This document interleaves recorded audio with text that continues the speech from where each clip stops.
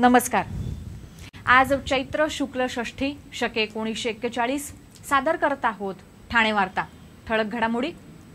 ठाण्याचे रहिवासी असलेल्या न्यायमूर्ती अभय ओक यांची कर्नाटकच्या मुख्य न्यायमूर्ती पदासाठी शिफारस. खंडू रांगणेकर बॅडमिंटन हॉलचं अद्ययावत अशा आंतरराष्ट्रीय बॅडमिंटन कोर्टमध्ये रूपांतर आणि ठाणे जनता सहकारी बँकेच्या ठेवींमध्ये गेल्या वर्षभरात आठशे पंचवीस कोटींची वाढ तर बँकेला निव्वळ एकशे एक्केचाळीस कोटींचा नफा. आम्हाला फेसबुक आणि युट्यूबवर फॉलो करायला विसरू नका.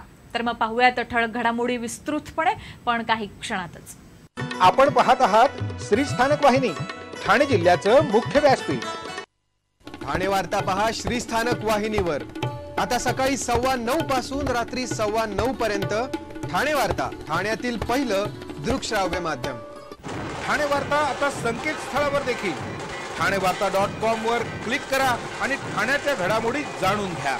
ठाण्यातील पहिलं ऑनलाईन माध्यम ठाणे वार्ता डॉट कॉम ठाणे वार्ता आणि श्रीस्थानक वाहिनीचं live streaming Thane Varta dot com वरील लाईव्ह स्ट्रीमवर क्लिक करा आणि अगदी मोबाईलवरही ठाणे वार्ता श्रीस्थानक वाहिनीचा आनंद लुटा. यासाठी आमचं ॲप डाउनलोड करा. आपण पाहत आहात श्री स्थानक वाहिनी ठाणे जिल्ह्याचं मुख्य व्यासपीठ. ठाणेकर आणि मुंबई उच्च न्यायालयातील न्यायमूर्ती अभय ओक यांची कर्नाटक उच्च न्यायालयाचे मुख्य न्यायमूर्ती म्हणून नियुक्ती होण्याची शक्यता आहे. सर्वोच्च न्यायालयाच्या न्यायमूर्तींनी अभय ओक यांची कर्नाटकच्या मुख्य न्यायमूर्ती पदासाठी शिफारस केली आहे. कर्नाटकचे मुख्य न्यायमूर्ती दिनेश महेश्वरी यांची बढतीवर सर्वोच्च न्यायालयात नियुक्ती झाली आहे. त्यामुळे कर्नाटक उच्च न्यायालयातील मुख्य न्यायमूर्तींचं पद रिक्त झालं आहे. न्यायमूर्ती अभय ओक हे मुंबई उच्च न्यायालयातील सर्वात ज्येष्ठ न्यायमूर्ती आहेत. मुख्य न्यायमूर्तींसाठी लागणारे आवश्यक निकष लक्षात घेता अभय ओक कर्नाटक उच्च न्यायालयाचे मुख्य न्यायमूर्ती होण्यास योग्य असल्यानं त्यांच्या नावाची शिफारस सरन्यायाधीश रंजन गोगाई न्यायमूर्ती शरद बोबडे आणि न्यायमूर्ती एन व्ही रामण्णा यांच्या कॉलेजियमने केली आहे.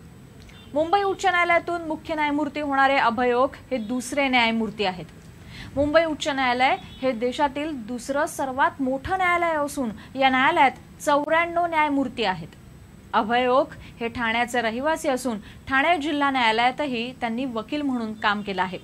राज्यातील बेकायदा बांधकामं फलकबाजी उत्सवातील बेकायदा मंडप माहूलमधील झोपडपट्टीवासियांचं पुनर्वसन अशा अनेक प्रकरणात न्यायमूर्ती अभय ओक यांनी महत्त्वाचे निकाल दिले आहेत.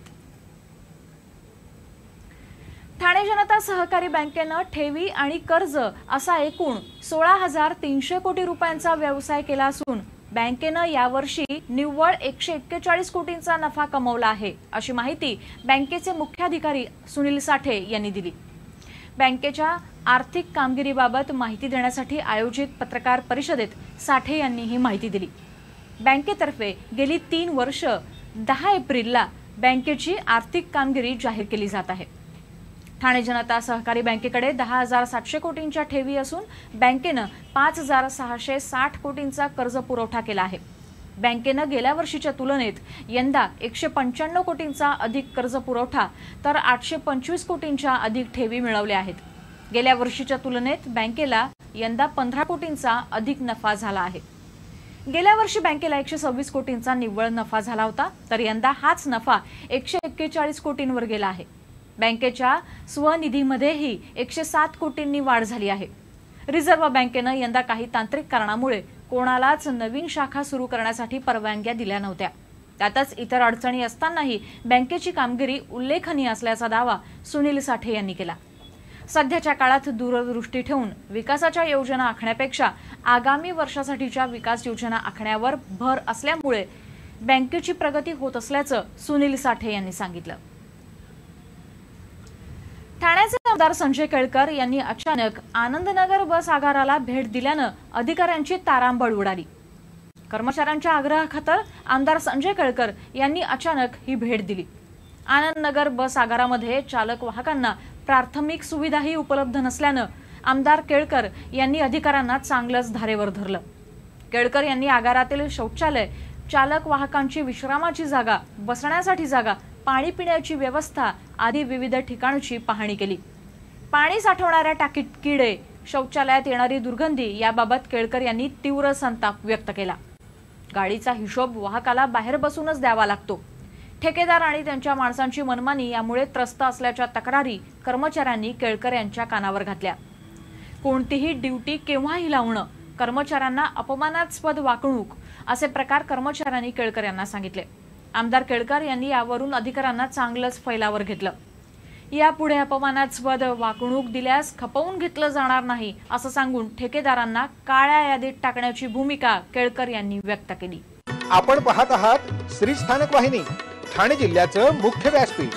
ठाणे वार्ता पहा श्रीस्थानक वाहिनीवर. आता सकाळी सव्वा नऊ पासून रात्री सव्वा नऊ पर्यंत ठाणे वार्ता ठाण्यातील पहिलं दृकश्राव्य माध्यम. डॉक्टर आणि रुग्णांचं पिढ्यानपिढ्यांचं जिव्हाळ्याचं नातं म्हणजेच डॉक्टर बेडेकर हॉस्पिटल. आता अत्याधुनिक सोयी सुविधा आणि तंत्रज्ञानयुक्त वंध्यत्व निवारण केंद्रात आय व्ही एफ आणि टेस्ट्यूब बेबीचीही सुविधा. Doctor Bedekar hospital Maharshi Karvepath Thane. पासष्ट वर्षांची निरंतर सेवा. ठाणे वार्ता आता संकेतस्थळावर देखील. ठाणे वार्ता डॉट कॉम वर क्लिक करा आणि ठाण्याच्या घडामोडी जाणून घ्या. ठाण्यातील पहिलं ऑनलाईन माध्यम ठाणे वार्ता डॉट कॉम. आपला परिसर स्वच्छ आणि सुंदर ठेवण्यासाठी ठाणे महापालिकेत सहकार्य करा. ओला सुका कचरा वेगवेगळा जमा करा आणि रोगराईपासून मुक्तता मिळवा. ठाणे वार्ता पहा श्रीस्थानक वाहिनीवर. आता सकाळी सव्वा नऊ पासून रात्री सव्वा नऊ पर्यंत ठाणे वार्ता ठाण्यातील पहिलं दृकश्राव्य माध्यम. आपण पाहत आहात श्री स्थानक वाहिनी ठाणे जिल्ह्याचं मुख्य व्यासपीठ. भिवंडी लोकसभा मतदारसंघात बंडखोरी करणाऱ्या बाळामामा उर्फ सुरेश म्हात्रे यांची शिवसेनेतून हकालपट्टी झाली आहे. शिवसेना भारतीय जनता पक्षाची युती असून युतीच्या जागा वाटपात भिवंडी लोकसभा मतदारसंघाची जागा भारतीय जनता पक्षाकडे गेली आहे. मात्र बाळामामा आणि भिवंडी लोकसभा मतदारसंघातील भारतीय जनता पक्षाचे उमेदवार कपिल पाटील यांच्यामधून विस्तव जात नाही. बाळामामा हे शिवसेनेचे ठाणे ग्रामीणचे संपर्क प्रमुख होते. कपिल पाटील यांनी शिवसेनेच्या विरोधात काम केलं म्हणून बाळामामांचा कपिल पाटलांना तीव्र विरोध होता. शिवसेनेच्या नेत्यांनी समजूत घालण्याचा प्रयत्न करूनही बाळामामा यांनी त्याला धूप घातली नाही आणि अगदी अखेरच्या क्षणी त्यांनी भिवंडी लोकसभा मतदारसंघात अपक्ष म्हणून उमेदवारी अर्ज दाखल केला होता. त्यांनी काँग्रेसकडून उमेदवारी मिळावी म्हणूनही प्रयत्न केले होते. काँग्रेसच्या नगरसेवकांनी त्यांना उमेदवारी द्यावी म्हणून मागणीही केली होती पण त्यांना काँग्रेसकडून उमेदवारी मिळाली नाही. भिवंडी लोकसभा मतदारसंघात शिवसेनेचे उमेदवारच नाही त्यामुळे आपली उमेदवारी बंडखोरी होऊ शकत नाही. मात्र पक्षाचा निर्णय आपल्याला मान्य असून आपण कपिल पाटलांच्या पराभवासाठी काम करू अशा भावना बाळामामा यांनी व्यक्त केल्या आहेत. ठाण्यातील वाहतूक कोंडी कमी करण्यासाठी उभारण्यात आलेल्या तीन पुलांमधील कॅसल मिल पुलाची जिल्हाधिकारी कार्यालयाकडे जाणारी बाजू खुली करण्यात आली आहे. हा पूल वाय आकाराचा असून यापूर्वी कॅसल मिल ते गोकुळनगर ही बाजू खुली करण्यात आली होती. पण जिल्हाधिकारी कार्यालयाकडे जाणारी बाजू मात्र सुरू करण्यात आली नव्हती. काल ही बाजू खुली करण्यात आल्यामुळे या परिसरातील वाहतूक कोंडी कमी होण्याची आशा आहे. ही बाजू खुली झाल्यामुळे कळव्याकडे जाणं आणखी सुलभ झालं आहे. हा पूल साडेसहा मीटर लांबीचा असून त्याची रुंदी चारशे मीटर आहे. खोपटकडे जाणारी बाजू पाचशे सत्तर मीटर लांब आणि साडेसात मीटर रुंद आहे. ठाणे महापालिकेचा दादोजी कोंडदेव क्रीडा संकुलातील खंडू रांगणेकर बॅडमिंटन हॉल हा आता आंतरराष्ट्रीय दर्जाचा बॅडमिंटन कोर्ट होत आहे.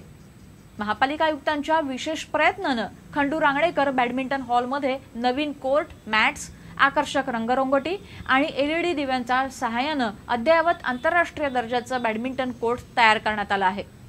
पूर्वी खेळाडूंना लाकडी कोर्टवर आणि कमी प्रकाश झोतात सराव करावा लागत असे. पण खेळाडूंना राष्ट्रीय स्पर्धेत उच्च प्रकाश झोतात मॅट्सवर खेळावं लागतं. त्यामुळे खंडू रांगणेकर बॅडमिंटन हॉलमध्ये अद्ययावत मॅट्स आकर्षक रंगरंगोटी एलईडी लाईट्सच्या माध्यमातून आंतरराष्ट्रीय दर्जाची बॅडमिंटन कोर्ट्स तयार करण्यात आली आहेत. आपण पाहत आहात श्री स्थानक वाहिनी ठाणे जिल्ह्याचं मुख्य व्यासपीठ. ठाणे वार्ता पहा श्रीस्थानक वाहिनीवर. आता सकाळी सव्वा नऊ पासून रात्री सव्वा नऊ पर्यंत ठाणे वार्ता ठाण्यातील पहिलं दृकश्राव्य माध्यम. ठाणे वार्ता आता संकेतस्थळावर देखील. ठाणे वार्ता डॉट कॉम वर क्लिक करा आणि ठाण्याच्या घडामोडी जाणून घ्या. ठाण्यातील पहिलं ऑनलाईन माध्यम ठाणे वार्ता डॉट कॉम ठाणे वार्ता आणि श्रीस्थानक वाहिनीचं live streaming Thane Varta dot com वरील लाईव्ह स्ट्रीमवर क्लिक करा आणि अगदी मोबाईलवरही ठाणे वार्ता श्रीस्थानक वाहिनीचा आनंद लुटा. यासाठी आमचं ॲप डाउनलोड करा. ठाणे वार्ता पहा श्रीस्थानक वाहिनीवर.